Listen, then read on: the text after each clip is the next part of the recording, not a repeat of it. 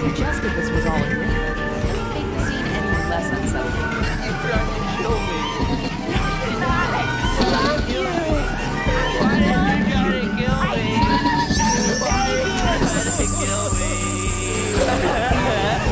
Number eight, Ellen appears.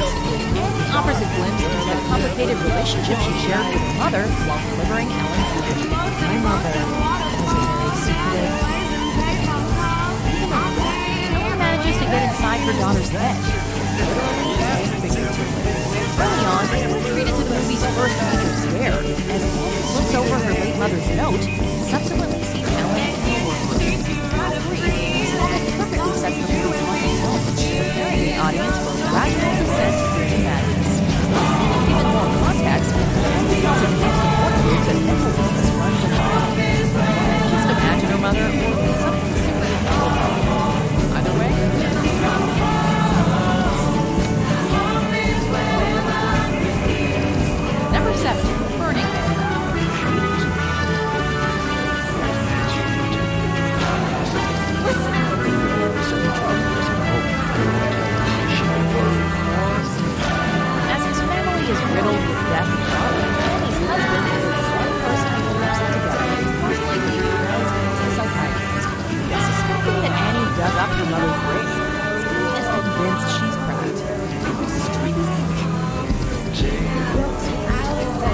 diagnosis is only strengthened when he tells him to burn Charlie's sketchbook to end this nightmare.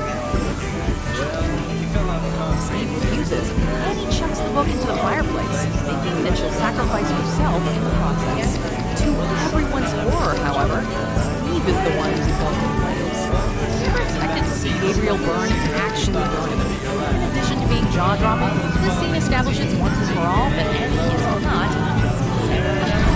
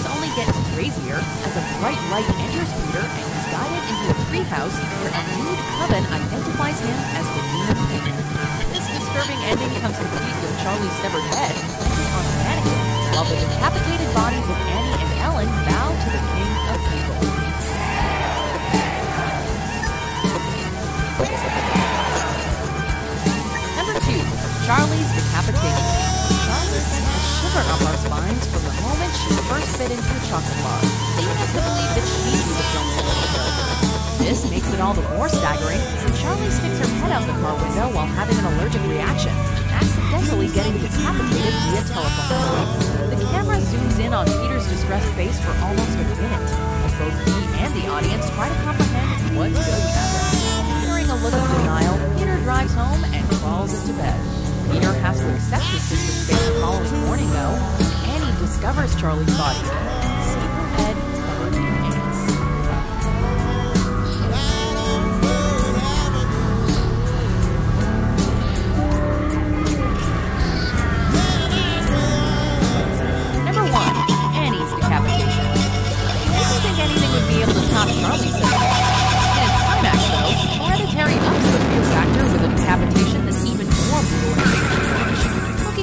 Andrew left behind by his grandmother's health, Peter comes across the most jarring sight of all, as Annie, suffocating above, gradually cuts her head off with a piano wire. Everything, from petrifying visuals to throwing steps into unnerving musical form, to more single out one moment to define why Hereditary is a modern horror masterpiece, it would to be this shot which will be forever burned into our minds. Do you agree with our picks? Check out the other great tips from Watch and be sure to subscribe and ring the bell to be notified about our latest videos.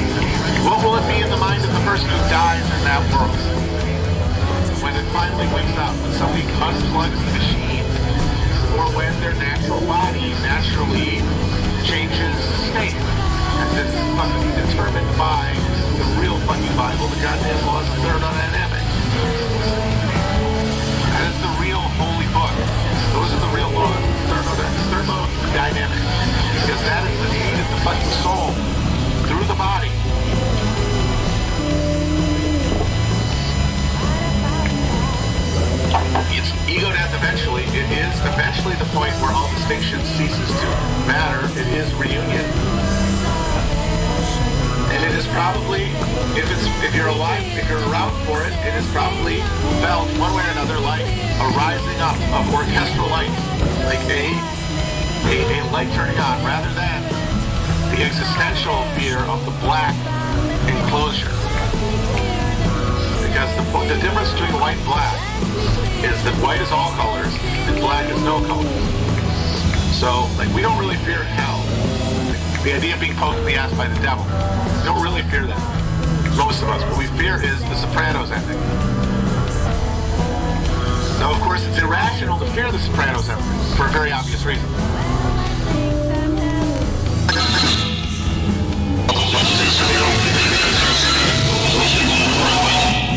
Can more easily convince themselves and live with the reality of being separated totally from the world. Because, hey, if it happens like that, it doesn't hurt, I'm not scared, it's fine. That's perfect. But for most people, it's just the thought of what's on the other side of that black screen that freaks them out. All the stuff they're gonna miss. All the experiences, all the things that they're connected, that they have spent their life attaching themselves to. That means that your brain is spindling around this inner axle of this black, no colors. That's scary. All colors, uh, no colors is no nothing, no knowledge. It is having gone through all of the world in pain and suffering and then just had it be for nothing because you didn't learn anything. White is all lights. White is all knowledge. Light is as the body drains of energy, as that DMT burst kicks in, as all of those little things in your brain, those little sectors spin at a rate that they never could in your normal life for even a second. You are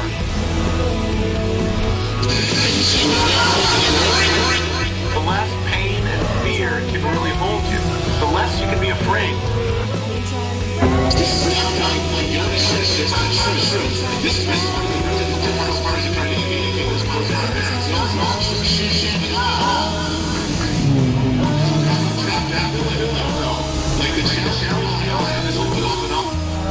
In a way that is convincing. And that means building different structures and different new symbolic orders around them. But the central fucking principles are the same. True shit is banal. You have to fill it though. Like the challenge we all have is to fill banal truths with meaning in a way that is convincing. And that means building different. You have to trust, you have to fill it though. Like the challenge we all have is to fill banal truths with meaning in a way that is convincing. And that means building different structures and different new symbolic orders around them.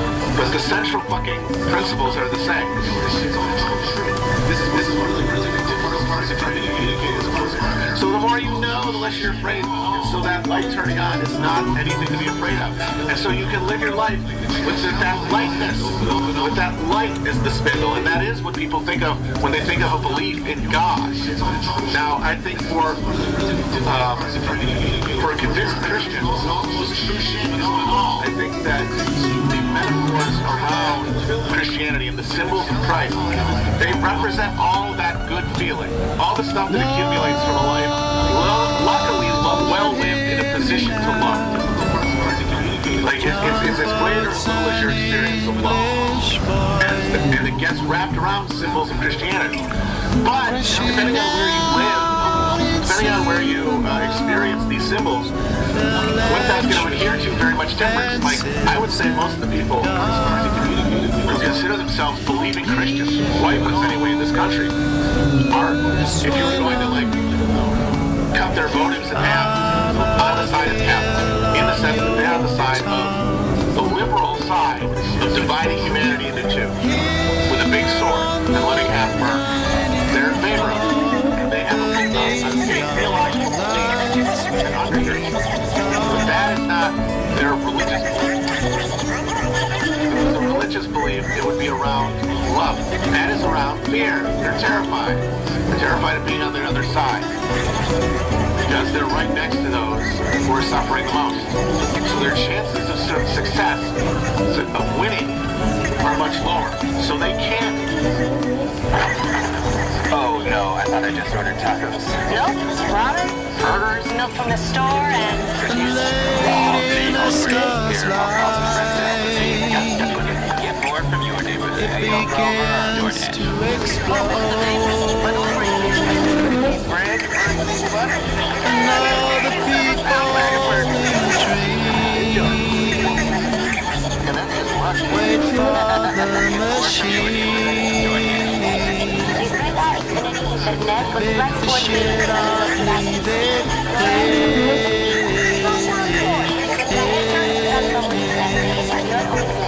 it otro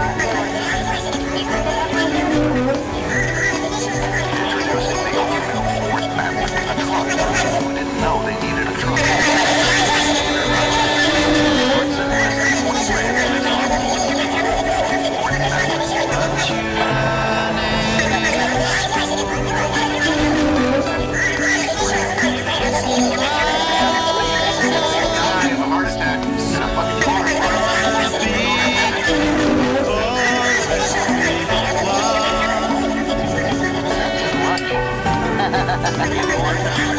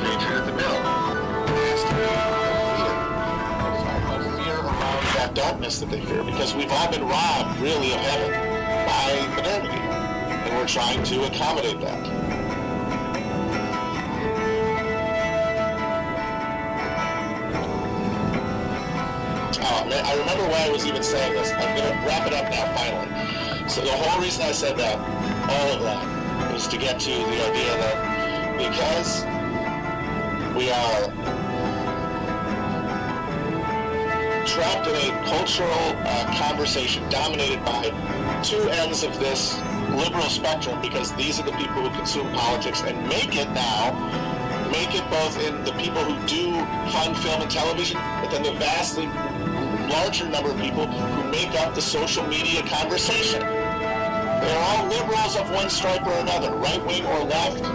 They are liberals. They want to divide us in half and kill one half.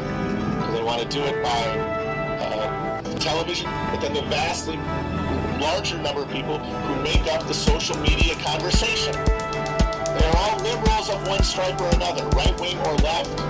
They are liberals.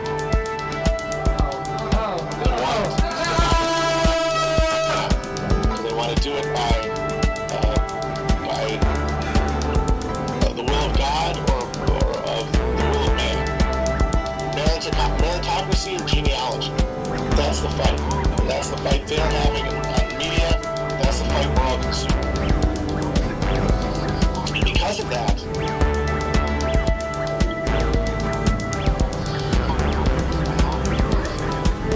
even though the places in our lives where in like electoral politics are, would, would be best used at the local level by definition. Because that's where you have actual local information. That's where you have information that comes from experience, not from this hothouse. When people's argumentation and the issues people fixate on and the, and the dynamics that people respond to are the dynamics of national politics that are carried out in this new entertainment realm where they're getting their political identity. Because they're not getting it from their life. They're not getting it from this machinery, the spectacle. Because we cannot, we, we, we're not, we don't have enough social uh, life to have those conversations and to have those experiences of shared exploitation and conversation and uh, organizing around those questions. Instead, those questions are all asked into the machine, into the spectacle, into the matrix. And so all of it is in the terms of national politics.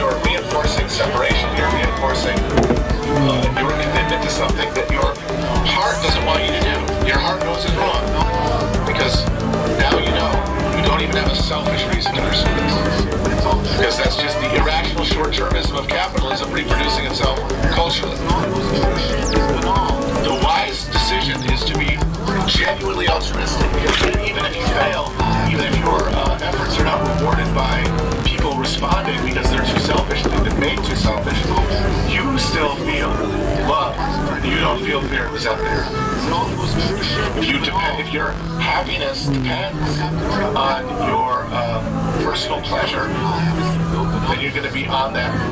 You're going to always be on the tender hooks of what am I doing to deserve this pleasure?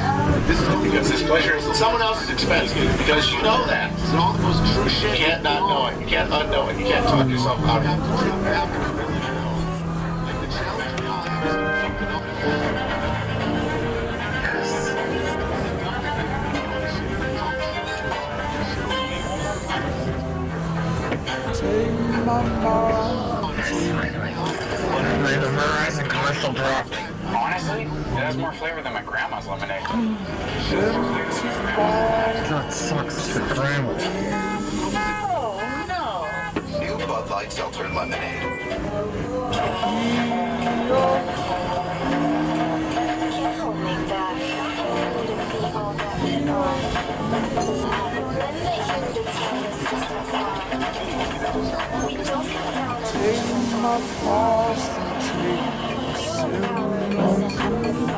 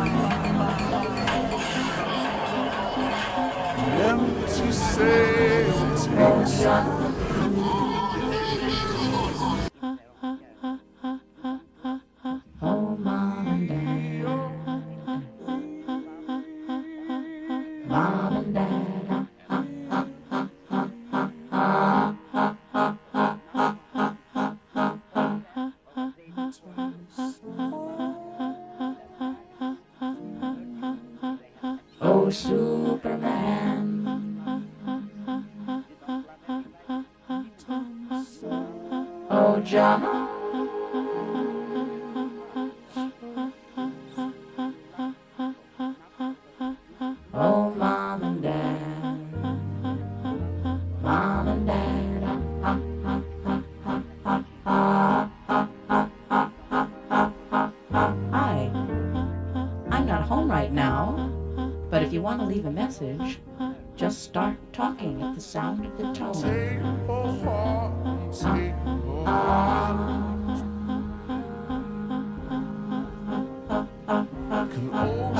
Hello? This is your mother. Are you there? Are you coming home? Hello?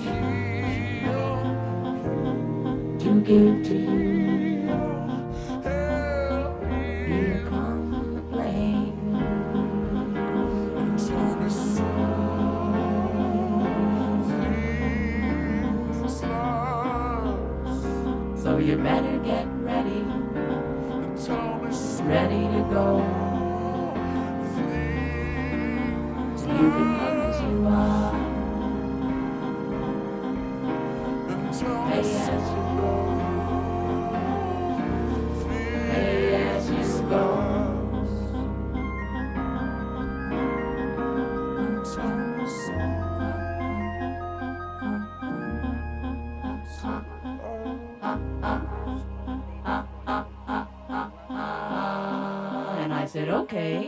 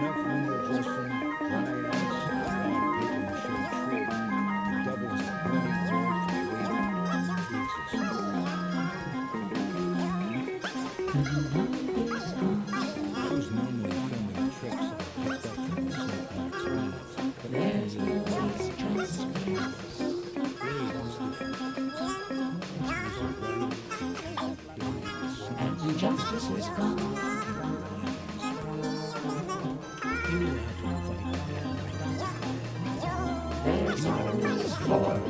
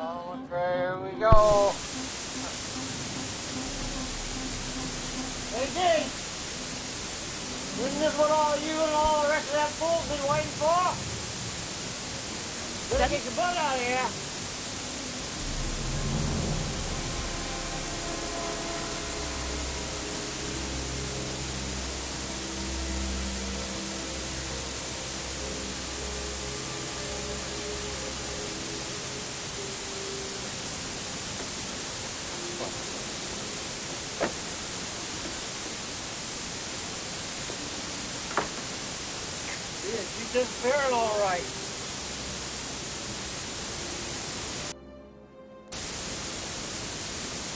I got another surprise for you, Joe. Yeah. Has somebody been killed, you're ugly? Elytra.